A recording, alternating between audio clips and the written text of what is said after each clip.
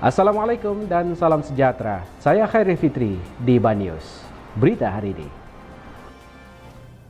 Pelatun Taiga yang diketuai Inspektor Gafar Abidin berjaya menahan seramai enam pendatang asing tanpa izin parti Filipina sebaik sahaja mereka masuk ke Sabah secara haram di sebuah jeti berhampiran Masjid James Atakwa Batu Dua di Sandakan. Pegawai Pemerintah Batalion 20 Pasukan Gerakan AM PGA Beluran, Asisten Komisioner Muhammad Nasaruddin M. Nasir berkata terdahulu pihaknya menerusi pelatun itu sedang melakukan pemantauan di lokasi kejadian kejadian selepas menerima maklumat berhubung pencerobohan warga asing di sana. Muhammad Nasaruddin berkata hasil pemeriksaan mendapati kesemua suspek gagal menunjukkan sebarang dokumen pengenalan diri atau perjalanan sah selain mengaku secara lisan bahawa mereka berasal dari Filipina. Menurutnya kesemua suspek yang berusia 23 sehingga 57 tahun itu ditahan dan disiasat mengikut Seksyen 6 Kurungan 1 Kurungan C Akta Imigresen 1959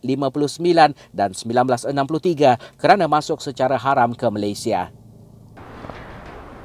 Saya Khairi Fitri di Banyus. Untuk sebarang berita dan info yang berlaku di sekitar anda, kongsikan dengan tinggalkan komen anda di bawah. Jangan lupa subscribe, like dan share video ini.